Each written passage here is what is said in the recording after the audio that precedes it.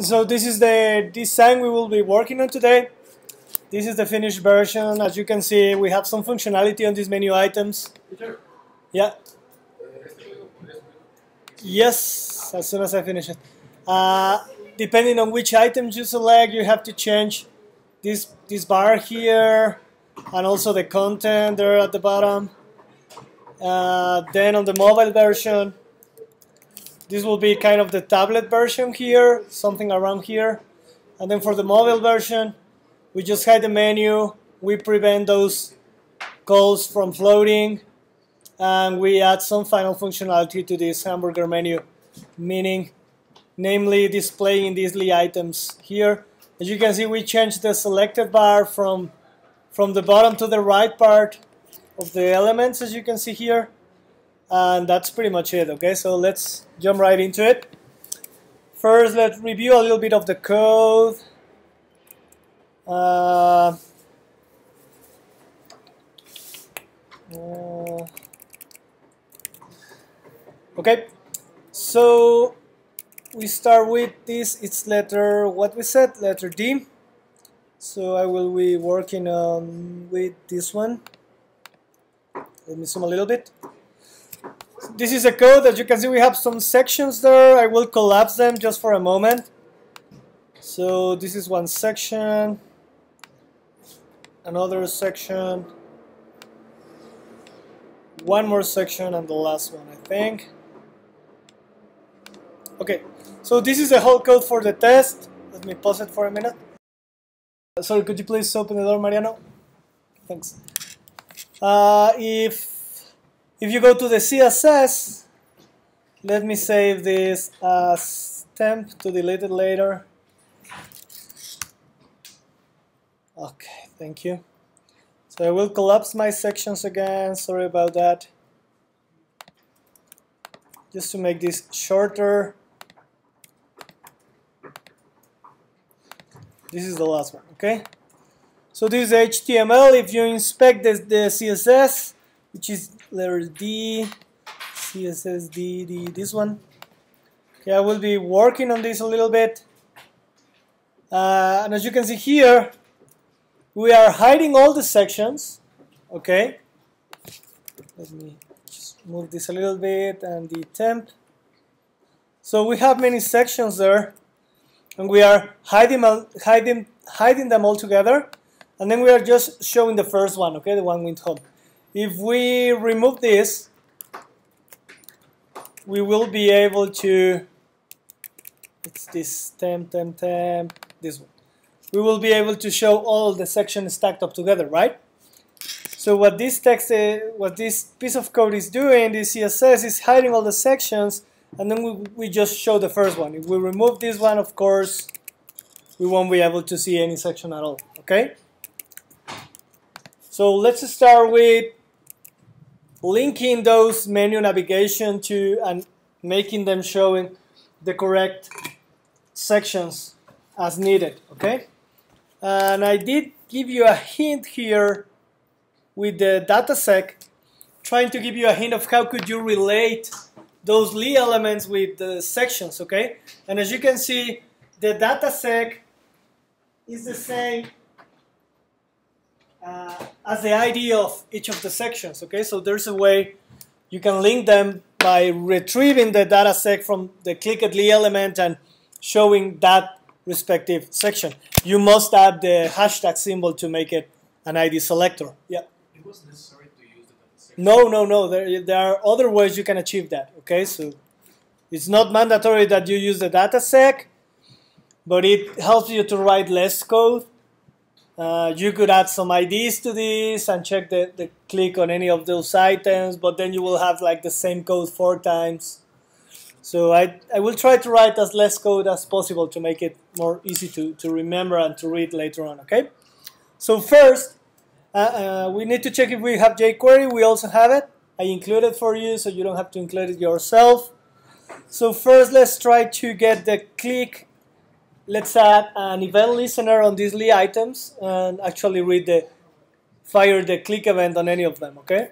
So before closing the body tag, I will write some script here. How do we get the click on these ones. Yeah, we, we as they are the only lists out there, we can just select them like this. You could use header li, header ule, it, it will work the same. On click event, execute something, right? As always, let's try this out before doing anything else. Just by printing something on the console, yes, it works. I know it works, but let's check it out anyway, okay? So I just save this, refresh this, open the console. We'll zoom it out a little bit, zoom it in, sorry. And then as soon as I click on any of these, I get this text, yes, it works, okay? So it's working, at least the clicking event. Of course, I don't want to print anything on the console. So what you can do is retrieve this piece of code, this variable, from the clicked lead. How do you get that? So how do you know which lead you clicked? You can inspect that by selecting the this keyword. This will uh, point to the clicked lead, okay? And then these are called data values, right? This is mandatory if you want to add a data value on any tag item. You just write data hyphen. This is mandatory, but this is free for you to choose. This is the name of the variable. I choose I chose sec, but you can type whatever you want here. No spaces, no strange symbols. You know the ID rules, okay? So this dot data, and then here sec. This will retrieve either of these strings here. Okay, let's print that on the console to check that out. So console log. Okay, so I'm just printing this. And if I check that, if I click home, sorry, you do get the home text, products, get products, services, get services, and company, prints company. Okay, so I'm just retrieving these strings from here. Okay. Uh, I will do this in two steps. So I will assign this into a variable that I will name s. You can name that whatever you want. And then we are going to use that as a selector. Okay. Uh, you could, if you need to, you can concatenate the hashtag symbol just by, by doing so. This is a, a simple concatenation. Okay. Now in the s variable, we have a string that always starts with a hashtag followed by one of these texts here, right? Why we need the hashtag? Because we want to use this later on as a selector. Because if we click this one, we want to show this section, right? And to show this section, we have to select it using its ID, which is services. But as services is an ID, you need to type the hashtag before. So you need, at some point, you will need this hashtag. You can add this later on when you actually write the selector. You could also write it here if you want to. You can add it here, and then you don't have to concatenate it anymore. Okay? There are several ways you can you can insert or incorporate that hashtag symbol when you need to. Okay? Now, first, what we should do is something like it doesn't matter which menu item the user clicks on. We the way we are going to to make it work is hide all the sections. That way we are going to hide for sure the section that was being shown up to then. And then we just want to show the selected section. Okay? So how do we hide all the sections? Section. You select the tag name section, right? Hide. And then hide. Yeah. So uh, you will need to, if you click on any of these, what you are actually doing is hide all the sections altogether, okay? That's okay. That's the first step. So hide all the sections. These will hide, well, you get the idea. This will hide the, the section that was being showed up to then, okay? And then we want to show the selected section, okay? The one that we have here on this variable, right? So now we use that as a selector. This already has, has the hashtag because we have the hashtag here. So there are Mm, uh, at least three ways we can incorporate that hashtag. If we don't, if we don't have it here, we already saw that you could add it here, concatenate it here, right? Or you can even concatenate it when you use it as a selector, so here, right?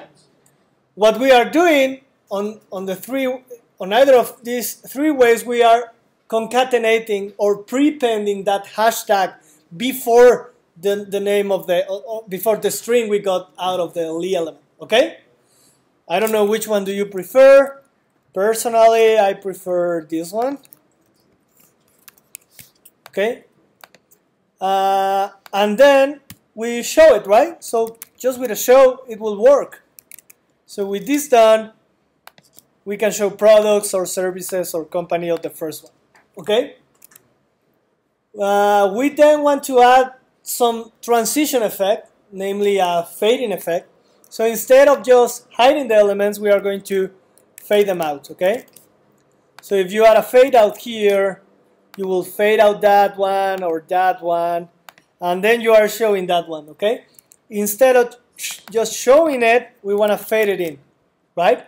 The problem right now is that maybe you would expect some kind of a cross fading effect some section fading out and the other section fading in but it doesn't work like that and what you end up with is the fade out does work but then at the end as the fading was taking place while the fade out was also taking place, what you see is actually the final result of the fading, okay?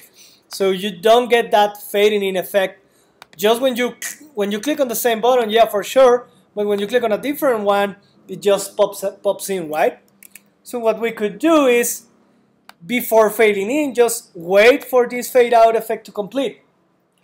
The average time or the default time these effects uh, take are 400 milliseconds.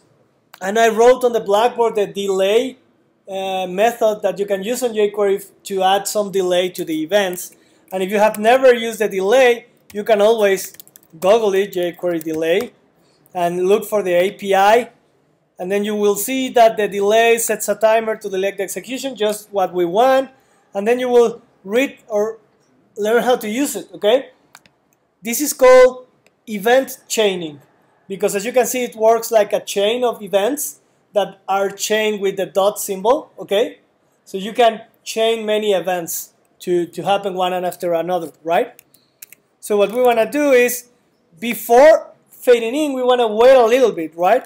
So let's add a delay of, let's say, 400 milliseconds. And then we fade in the other sections. And with that done, oh, sorry. With that done, we now get this nice effect fading out and fading in.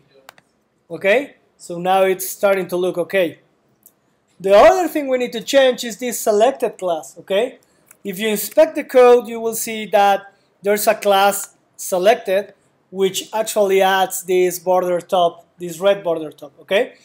So what we need to do is assign that selected class to the selected or to the clicked li element, okay? So again, what we do is and you can merge this and this line of code in the same one if you want to write even less code because we don't really need this s variable. We could just copy this code and paste it here, right? And then we don't need this piece of code anymore. We are selecting, retrieving the data sec value from the li element and then using that as a selector. Yes? The result is the same, as you can see, no changes. I will just leave this in two steps so you can read it easier later on if you are using this for studying. And then what we want to do is remove the class selected from all of the li elements, okay? So select the li elements and remove the class selected, okay? So no matter which li I click, it will first remove the class selected from all of them. Since this one is the only one that has it, if I click on any of them, even on the same one, what I will do is just remove that class selected that removes the, that red border top, okay? And then what I need to do is add the selected class selected class to the clicked li, right? So how do we get the clicked li? With this? Yeah, but how do we know which leaf we clicked on? We can use the this selector, okay? Then add class selected. And that's it, okay? So now if I click on products, product has that class, and if I click on company, company has that class, and so on. So the first part is more or less complete, okay? Any questions up to now? No? Okay? How many lines of code have we written? Six. Maybe six or seven, so not much, right? Uh, okay, so let's move to the next part. The next part is the responsive part, and we also will need again some jQuery to add the functionality to the hamburger menu. But first we need to show it, okay?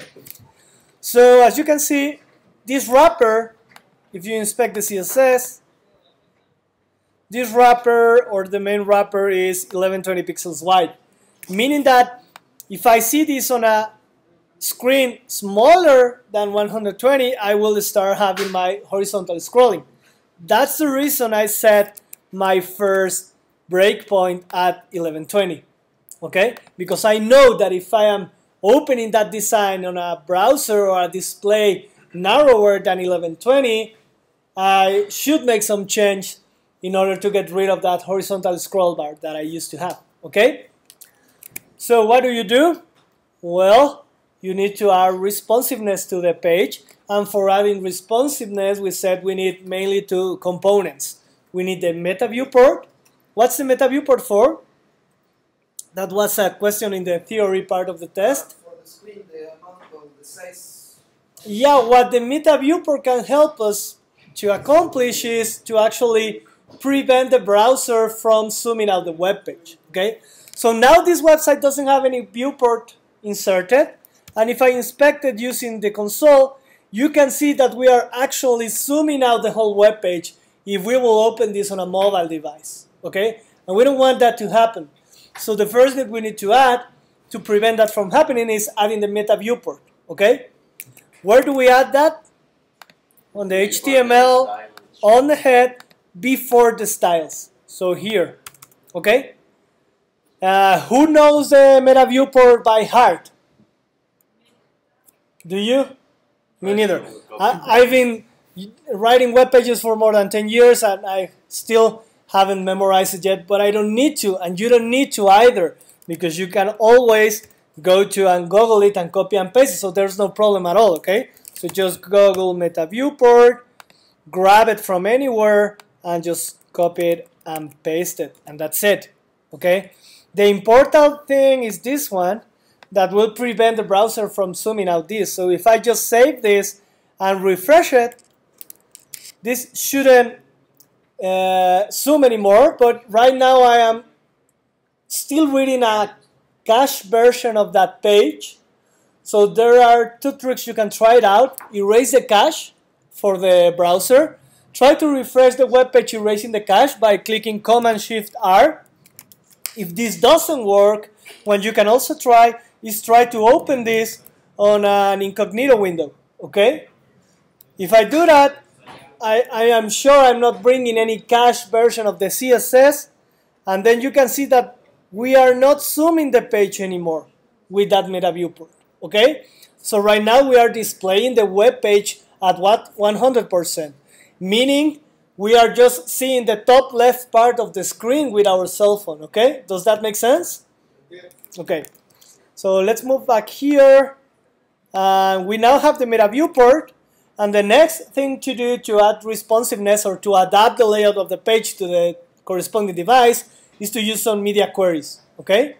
So let's move to the CSS. And here at the bottom, I will start adding my responsiveness. So responsive.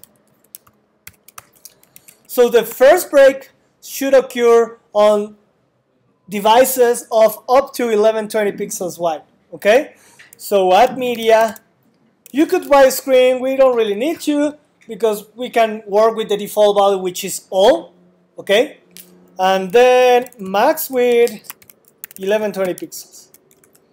So on any device up to 1120, we should use these rules here.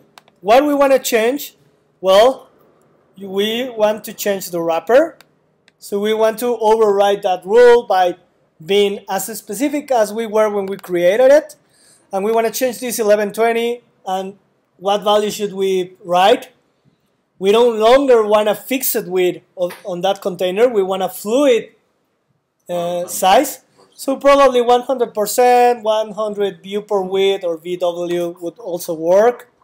Okay, so wrapper with 100 viewport width can work. Okay, so as you can see, as soon as we click less than 1120, so exactly here, the wrapper will start to adapt at 100% of the viewport width. Okay, and we no longer have this horizontal scroll bar no more. Okay? Yeah, it can. It, this will be the same. What's the difference? The percentage is the is uh, uh, related to the parent of the container. Okay, so this will use 100% of the parent container of the wrapper. As the parent container of the wrapper is the body, then it's actually the same to write viewport width. If this wrapper were to be inside another container with a width of 400 pixels, and we set this to 100%, the size would be 400 pixels. But if we set this to 100 viewport width, even if the wrapper was inside a container of 400 pixels, the size of the wrapper will be the size of the full viewport. Okay? That's the difference between those two measures. Okay? In this case, it's really the same if we use one or the other one. Okay? So if you just just percentage, the result is actually the same. Okay? And I think that was the only change you need to make for tablets. And that's it. We don't need to write anything else because in tablet view, if we inspect this on a tablet, you will see that, yeah, here is not working, but if you check that on a tablet, for example, it's starting to look, well, let me zoom that in a little bit. It's starting to look okay and we don't have any horizontal scrolling okay? So that's good for now. Now let's move to the mobile. I set the mobile view to fire at 770 why? Because I saw that more or less check this number here more or less roughly at 670 or values less than that I will start to have this overlap between the logo and the li element okay so I know I have to start changing things somewhere around here. Okay, so I got that 670 value out of that uh, uh, measure that I'm playing with right now. Okay, so we need another media query. This will be the mobile version, right? So media max with 670 pixels. Okay, and here we do have to change many things. Okay, First of all, what we need to do is just hide this menu altogether, okay? So this is a UL, remember, is this one. Okay, so let's hide it out. Uh, first of all, how did we use it? We want to be as specific as we were when we defined the values of those elements, okay? So if I select header UL, I want to be as specific, okay? So header UL, how do you hide it? Display none. Okay. So as you can see, as soon as I hit 670 pixels, I will be hiding that UL altogether. Okay. Now we want to prevent those divs from floating and we want to display them stacked. Okay. These divs are inside the sections, but all of them have this class col okay so this one will be this one and this is the other one so as you can see both of them has the class col and this one also has a class col 1 and this one has col 2 why because with the col class I am floating them and then col 1 is setting the width of this first column to be wider than the other one okay and col 2 is set to 40 pixels 40% uh, okay so I don't want them to float so I can copy this, copy this, paste it here, and say float none, right? So this will prevent those columns from floating, as you can see. They are not floating anymore. Now the sizes look weird because this is still 60% and this is still 40%, okay? So I also need to change that for col 1 and also for col 2, right? The width should be what? Maybe 100%. The problem here is that, yeah, it will be flush to the sides of the window. We probably want to have a small amount of space at the right and left side of the design because that helps the user read better the text and that kind of stuff. So we could do something like, yeah, maybe 90%. And then we want to center this all together, right? How do we center this? Margin zero auto, okay? And that will center the stuff, okay? Now, how, mu how much space do we have here and here? 5% on each side, right? Because the width is 90%. That means as this keeps getting smaller, the size of the space here will also be smaller, right? I don't know if you can see that. Let's try to remove this for a, just remove the center line of this text just for a second. So that's inside, it should be at center, I think it's one third. I don't know if it's this one. No. Well, let's just check it here, right? So is this cast desk and this one says what? So it's yeah, it's center, right? So we should have something to center this text align center or a P center. This one is center, but why are we? Why is this text center? Uh, here I'm not centering at all. Uh, oh, here, col one text align center. So if we remove this, uh, just remove it all together, you will see what I mean. Okay, look at the space here. As the screen grows narrower, also the space is more narrow here because it's a percentage of the width of the screen, right? And if, as this grows bigger, I don't know if you can see it, but the space here also grows bigger, right? Do, can you see it? So here's a question.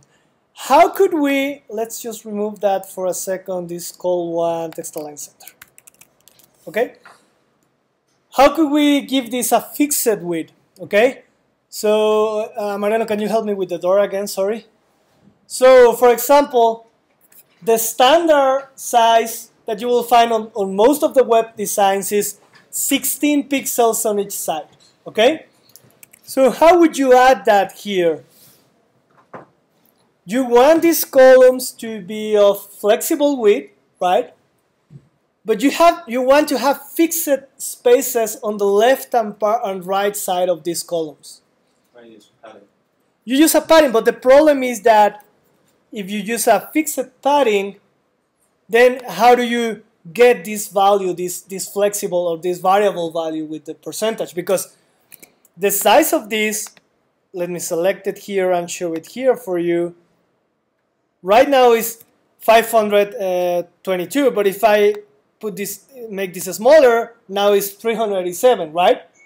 So if you put a fixed padding size of 16 on each side, then you will also need to uh, rewrite or that the value of that paragraph, right, of that container. One, one nice way of doing it is making some calculations. So what you could do is use the calc to make some calculations inside CSS. And what you want to do, you want the size of that item to be 100% and you want to subtract 16 pixels on the right and 16 pixels on the left. So you want to subtract 32 pixels out of 100 of the width of that container, right? And you can do that with the calculation. So you can write something like 100 uh, percent minus 32 pixels. Okay? And that way, uh, uh, look at the size. The size won't change anymore. I don't know if you can see it, but this size, this padding is constant right now. Okay? Uh, you can use any calculation you want in the calc, subtraction, division, multiplication, and addition. Just make sure you leave some white spaces between each side of the operands. Otherwise, the CSS won't recognize this as an operation. So if you remove the spaces, even on just one of them, then this won't work anymore, okay? And as you can see, we have this at 40% size again, okay? So these, these white spaces between each side of the operand are important to make any calculation, okay? So now it's working quite okay. We are hiding this menu, we are preventing this from floating, so this will look quite well on any mobile phone out there. So something like the iPhone 5. We don't have any horizontal scrolling and we are able to, to watch everything quite nice, okay? So that's it for, at least for this part. Now let's play with the top. We want to show the hamburger menu just on mobile. So just when we hide that UL, we do want to show the hamburger menu, right? But wait, we don't have any hamburger menu here because I deleted. It. I deleted it, okay? So you need to add it somewhere inside the header, okay? Where? Well, it's really, it, it really doesn't mind because we are going to put it, position it at the right side of the header later on with a, maybe with a position absolute or something like that. That will work. I will add it here. So image source, image d hamburger menu. Uh, it's not there yet. I forgot to put it, right? On the image D. So let me just copy it from anywhere there. Image D. That's why I was getting different hamburger menus design on this kind of that it doesn't really matter it's okay you can I grab I normally I usually grab those from iconfinder.com because it's a royalty free site then just look for menu or hamburger menu look for the free ones and you have many styles there that you can use these are all high quality icons. You can download SVGs, PNG with transparency in huge sizes, and they are royalty free. So it's a good page to, to search for icons. Okay? So I have this one right now. Let's add it here, hamburger menu, and I will give it an ID of menu to play with jQuery and to be able to select it and add an event listener to it and that kind of stuff. Okay? So menu. Uh, now the problem is that this menu will be displayed all the time, right? Doesn't matter which layout you have. So we have to first uh, show it well on the mobile view and then hide it all together, okay, on this view, okay? So first of all, I will put it on the correct position just on the mobile view. So let's go to the CSS. And before the responsiveness, you could select the menu, change its width to let's say 40 pixels. So now it's uh, maybe a little bit more. There's a standard more or less around 40 pixels is the limit of the size, the width and height of a button if you want to make it easier, easy to click for people with fat fingers, okay? So if you write something like, let's say 20 pixels, now this is too short, too small, and maybe people with fat fingers will have troubles on clicking it. So around 40 pixels is the, the desired minimum size for a for a button or a click clickable element, right? Let's write yeah 40 pixels. Okay, so maybe a little bit more. 46. Okay. Now I want this to be right here, as the container already has the container is a header, right? And as the container already has a position relative, I can play with a position absolute within that container and flush it to the right side of the container, right? So let's do that here with a position absolute. If I write right zero, then it will be flushed to the right of the container. Yeah, can you see it? I want to add some top, let's say 10 pixels. Maybe if I'm picky, and I do, I want to center it. Maybe somewhere around there it's okay. And then I also want to give some space to the right, and that's quite okay. Okay, so it's flush to the right. I don't want to display it on tablet or mobile or desktop, sorry. I just want to display it on mobile, okay? So I should hide it on, on these views, okay? And just show it on this one. So I will hide it all together, display none.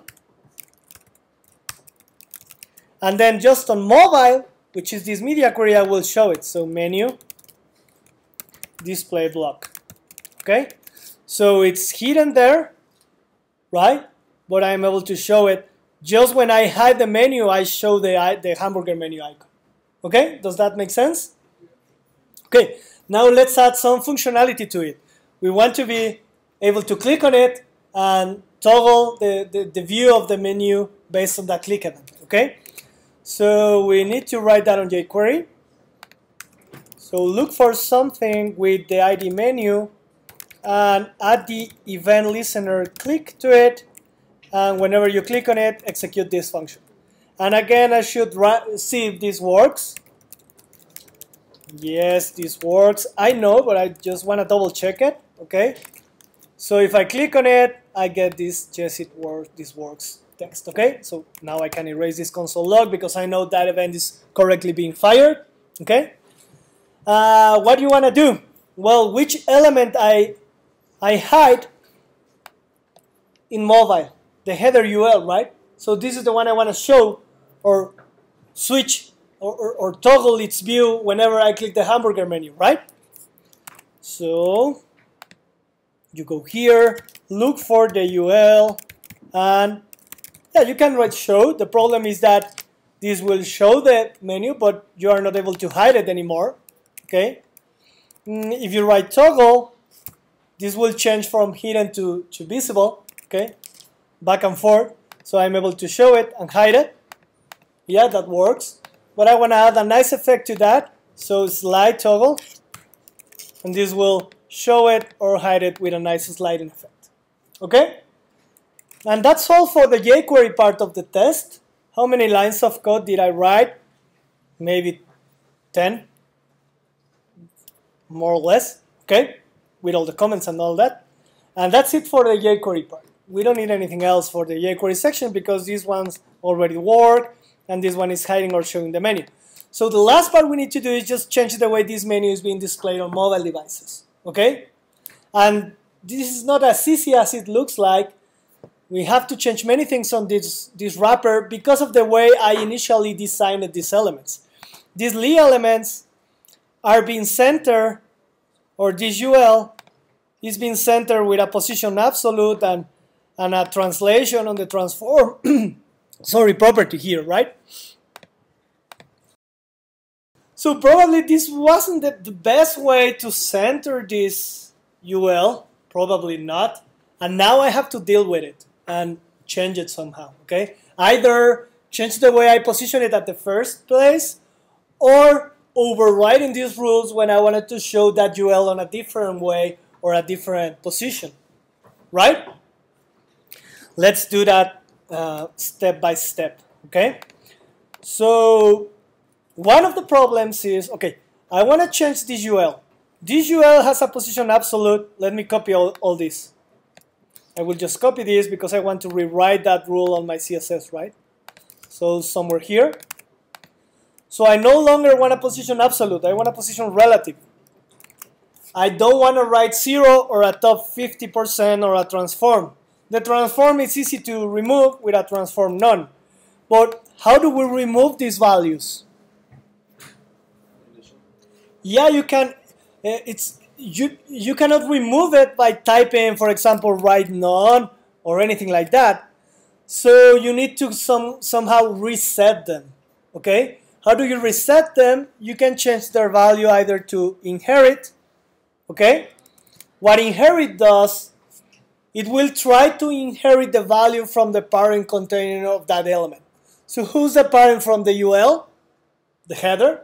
And as the header doesn't have any right attribute, it will be the same as resetting it. Okay? So you can always use the inherit to kind of remove or reset a specific value on a CSS rule. Okay? So right now, if you check that out, we now have that in relative position. Then we don't want these li elements to be horizontal. We want it to be stacked, vertically stacked. The way we did it was with this display inline block. So we want to move that out. Let me copy that rule. So instead of inline block, we could use just a normal block, right? So we did with that done, we now have those menus there, okay? But now we have another problem. As you can see, the header, which is this big box here, is not growing as needed, right? Why not? Because it has a fixed height of 80 pixels, right? We need to somehow give the freedom to that header to grow or shrink as needed depending on the elements it's, it's displaying inside it, okay? You get the idea?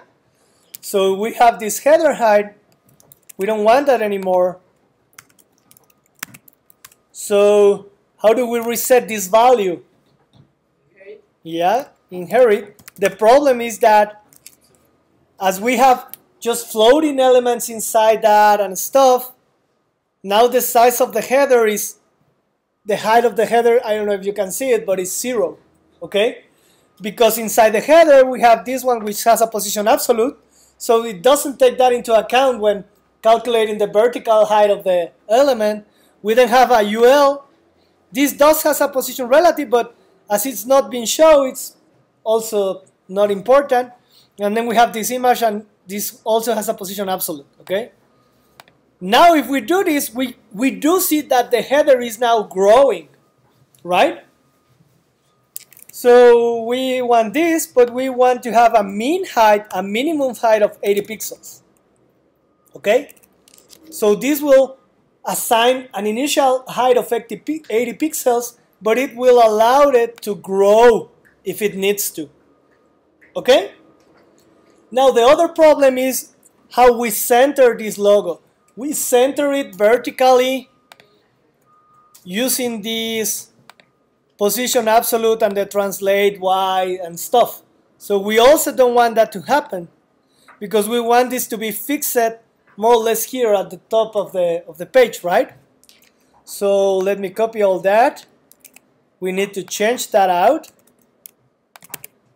So position absolute, yeah, it, it can still be a position absolute, so we don't need to move that. We don't want to transform it, so none. The left, we can leave it at 40.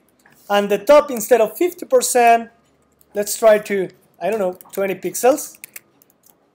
And as you can see, it's not the correct top value because you can see that logo jumping out there. So we should increase a little bit that value. Okay, so let's try it at 28. Uh, it's still a little bit on the top side, so maybe 31. No, 34.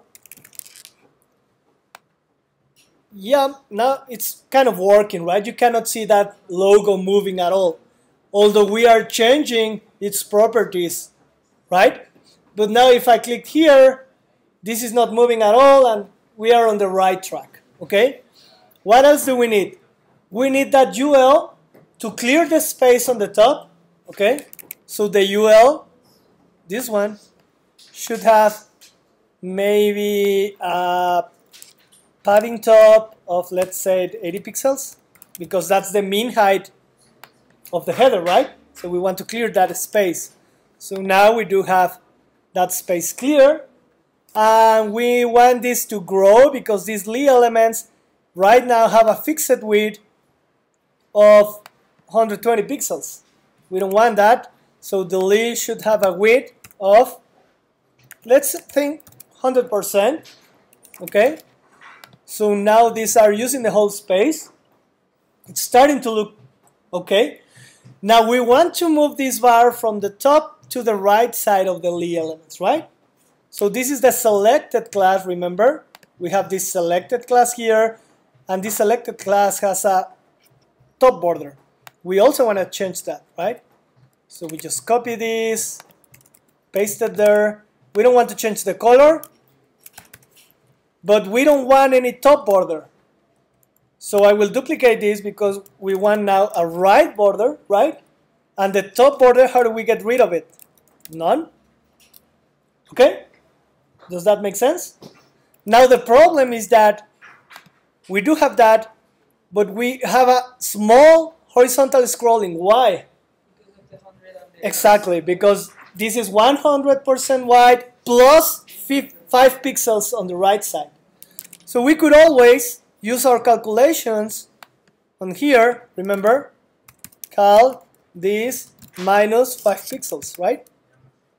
So now the space is actually perfect because no matter the size of this, we are changing the width of these elements to be 100% of the container minus 5 pixels. We are accounting for that right border right now. Okay? So this works quite okay.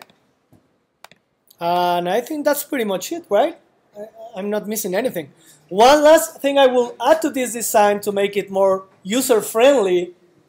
I don't know if you can check that, but actually, if you will run a think aloud text or any of our evaluation techniques, and you will observe how the users interact with this website, you will see that they click here and they select something, and most of them will again click here just to hide this.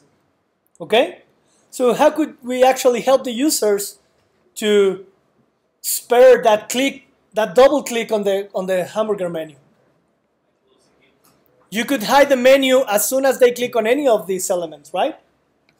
So the hiding of that of that menu is this one, right? So you can copy that and also trigger that whenever you click on any element, right? So I will just copy that and put it there. So now, if you click anywhere here, you will also hide the menu. But what I don't like is that it happens too fast, and maybe I do want to wait a little bit for that bar to, to give the user time to see that that red bar is now on that section, right? Because right now it happens too quickly, right? It happens too fast. So what can you add here to make it wait a little bit? Yeah, you can add a nice delay of, let's say, 300 milliseconds. And now if I click here, that's kind of better, right? Because the user sees that that's changing, this is changing, and now it's hiding the, the menu altogether. Okay? Uh, I will stop the video here.